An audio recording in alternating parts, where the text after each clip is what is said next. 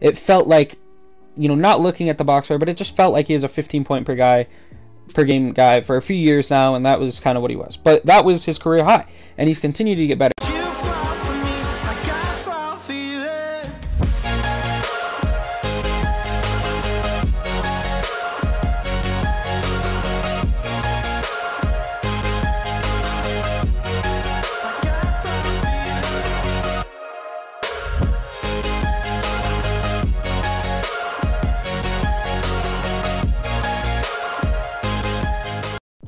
Alright, everybody, welcome back to another episode of NBA Now. It's your boy Dom, and we can get right into things here today. So, today, today, today, we are talking about the San Antonio Spurs, and specifically, we're talking about DeJounte Murray.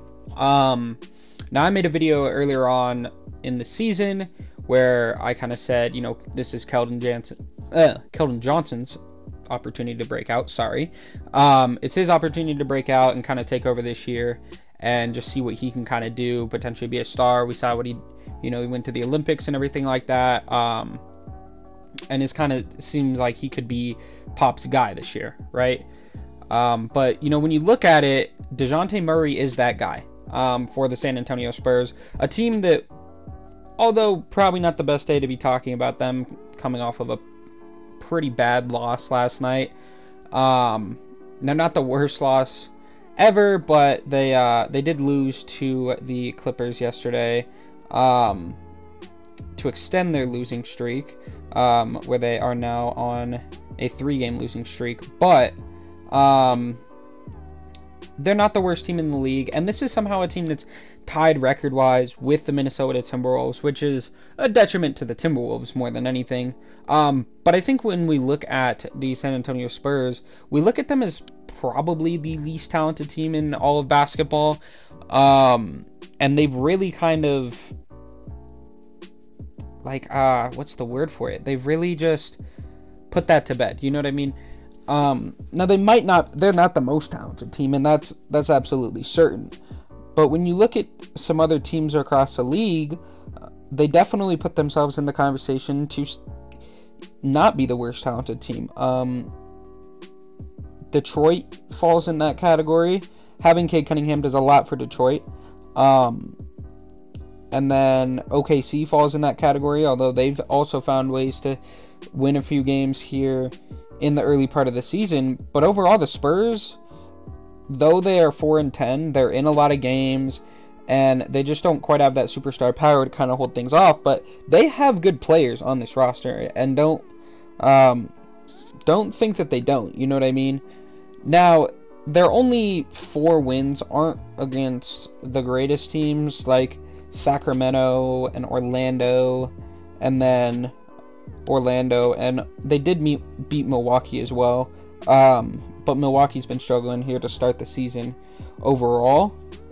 So, I mean, they're looking pretty good to start the season. And obviously, the big two guys to look at, obviously, is Keldon Johnson, which, if you want to see more about that, obviously go check out that video that I mentioned earlier, and DeJounte Murray. Um, and DeJounte Murray, he's averaging almost 19 points per game. He is averaging 8 assists per game, 8 rebounds per game, and 2 steals per game. So, you know, he's doing it on both ends, and he's averaging almost 20 points per game. And it's kind of funny for me to make this video because, um, you know, I've been looking at it and everything like that, and he's a guy that's really the only guy, or one of the only guys showing up for them some nights. But, you know, to just be doing that on both sides of the ball as well, I was personally ready to sell my DeJounte Murray stock. Um, I looked at kind of the way his career was going, how his averages were leading, just he didn't feel like he was really ever going to become that star, especially after his injury and everything like that. I thought he would always just be a mediocre player. And although last year he improved on his season prior to that, um, he played 67 out of the 72, so he showed that he wasn't quite as injury prone. And then he went up to 15 points per game, which was a career high for him last year. Obviously, he's continued to exceed that um, this year. But I thought that he was going to peak at that. Like it, it felt like, you know, not looking at the box score, but it just felt like he was a 15 point per guy per game guy for a few years now, and that was kind of what he was. But that was his career high, and he's continued to get better. And so something that when you look at his kind of stats and stuff, it reminds you of another player that's also having a very good year in OG Anunoby, another guy I made a video about as well. But OG and DeJounte Murray having proved their scoring every single year of their career, and they came into the league as defensive guys. You know what I mean? Guys that you look at to be high level defenders for your team, and any offense that they do end up developing is only that much better, right? Um, and DeJounte Murray, you know, in his rookie season, he started off by only playing 38 games. He averaged almost four points per game. Then he bumped that up to playing the 81 out of 82 games, and he had eight points per game. He was looking pretty promising. Then he gets his um, ACL, right? He, he tears that, and then he comes back in the 2019-2020 season, plays 66 games, and gets about 10 points per game. Obviously, like I said last year, um, played 67, had 15, almost 16 points per game, and it felt like that's where he was. But he somehow just jumped that, you know what I mean? And a big part, not only he's jumped his points every single year of his career, he's jumped his assists every single year of his career, he's jumped his rebounds every single year of his career, and he's jumped his steals almost every single year of his career. So that is insane to just see the progression that he's had, especially coming off of such a bad injury that, you know, deters a lot of careers. And I think that's something that we forget about sometimes when we look at DeJounte Murray, is that he went through an injury that's taken out stars and taken out players' careers entirely before, and he's come back and he's looked better. So, I mean, for his steals, the only year that he didn't go up was last year, where he went from 1.7 in 2019 2020 to 1.5 last year. He's now up to over two steals a game for the first time in his career. And to just exceed what you've done prior in every single statistical category, and although that might not continue, but it's pretty significant in most categories.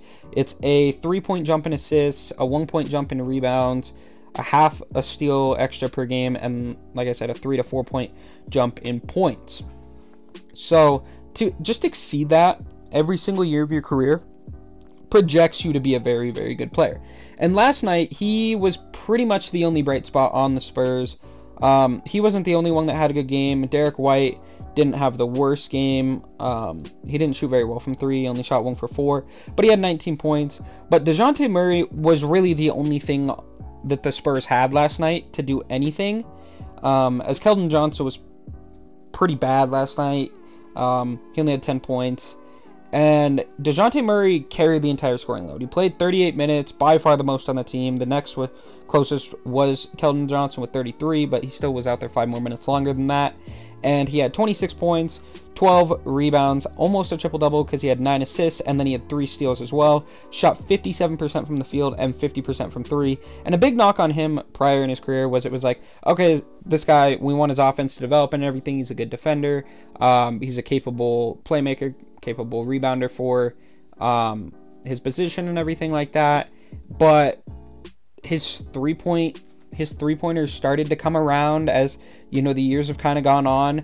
Um, not being anything fantastic, you know what I mean? Still being around that league average, but uh, being willing to attempt more of them. Obviously, early in his career, he was struggling to attempt one a game. Now, in the last two years, he's averaging over three three pointers per game, and you know this year he's making one three pointer per game. So that does a lot for you. It's something that Ben Simmons could learn from. Um, but you don't have to be the greatest three point shooter at the guard position if you're, you know, such a good defender and you have all these other things that bring to the table. But you just need to be willing to take them. And DeJounte Murray has shown that he's willing to take them within the rhythm of the offense. He's willing to take them when he's open. And he's not going to become a liability from out there. He's just going to take what the defense is giving him at that point, but he's not going to rely on his three point shot, right? There's guys that can rely on their three point shot. Steph Curry, um, Luka Doncic, James Harden, Damian Lillard. These guys, if they need a bucket, they are typically going to rely on a three point shot rather than a drive to the to the lane, right? And those guys are great. And obviously, you know, they're superstars and everything like that, but not everybody has to rely on their three point shot. You know what I mean? When you look at big guys, they don't rely on their three point shot. It's they're willing to shoot it. If you're not the greatest shooter, you have to be willing to shoot it sometimes still. But like Giannis, he doesn't rely to come down the court and now we've seen him develop his three point shot as well, but he doesn't rely to come down the court, make a few moves, pull up from three every time that he just needs a bucket. No, he's going to go to his bread and butter and that's take it to the rim and do whatever. Uh, Joel Embiid, obviously, he's going to rely on getting it in the post. Um, and so there's guys, you know, that those guys aren't, aren't terrible. I mean, Giannis has improved his three point shooting. He's not a good three point shooter, but he's willing to take them. Um, and I would say, you know, DeJounte Murray is definitely a better shooter than like Giannis or um, Joel Embiid or whatnot. But like Joel Embiid is not a terrible three point shooter, especially for being a center. And he's forced into taking more of them than maybe he wants to, especially when Ben Simmons is playing. Um, but that's just kind of today's game for him that he kind of has to deal with. Whereas DeJounte, you know, when we talk again back to that improving every single year on what you're doing, him, OG Anunoby, and Giannis are the three that come to mind when you think of that. Giannis is a guy that had that similar progression. Now, I don't think either of those players will get to a Giannis level, but if you're telling me that DeJounte Murray can't be an all star level player, I think that you're blind by what you're looking at, right? When you look at Giannis's first, what, what's that, six years in the league, five years in the league? Um, yeah, when you look at his first, really, he improved his scoring his first, I think, eight years in the league. Um, first seven years in the league. But if you look at his first five years in the league alone, right? He goes from coming in, he averages six points per game. He's going to bump that up to double that to 12, bump that up to almost 17, bump that up over 20 to 22, and make his first All Star team, and then bump that up to 27. He continues to go and bump that up to 27 and then 29, and he's kind of stayed around that high, you know, 26 to 29 area, right? Um, but he's a guy that improved in every facet of the game for his first five years, right? When you look at his rebounds, you know, a guy that's a big man.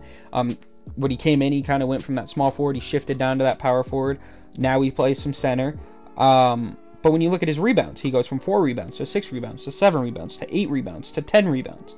Uh, when you look at his assists for his first four years in the league, he improved every single season. He went from one assist to two assists to four assists to five assists, and he's kind of stayed in that five to six assist range ever since then.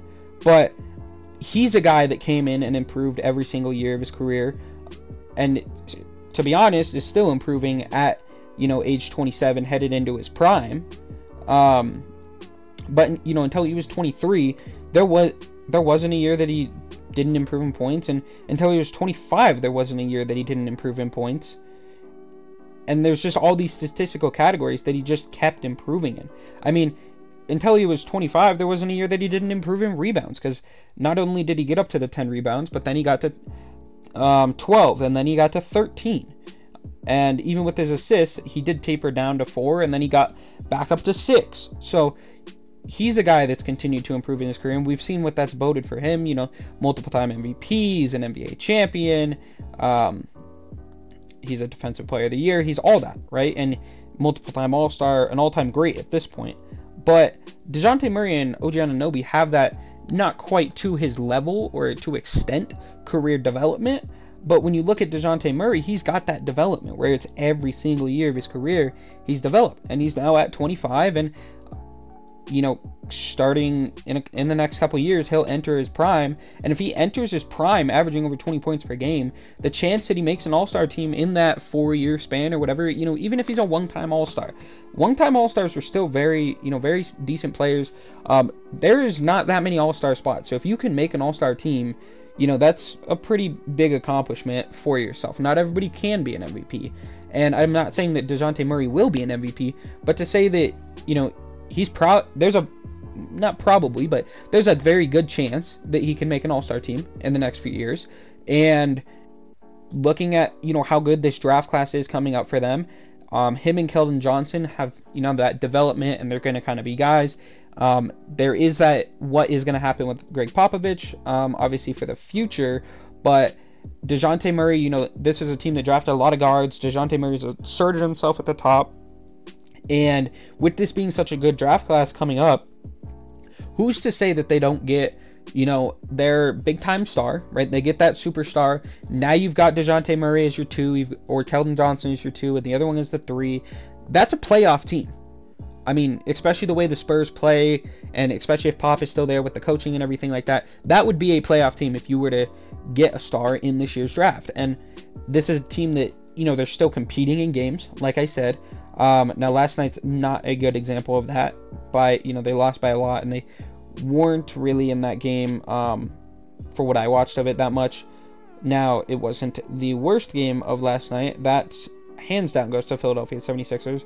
But watching the Clippers Spurs game, um, you know, they were in it for a little while and then it really got away from them quite a bit um, as the game continued on. But they're a team that is in most of their games, if not all of their games.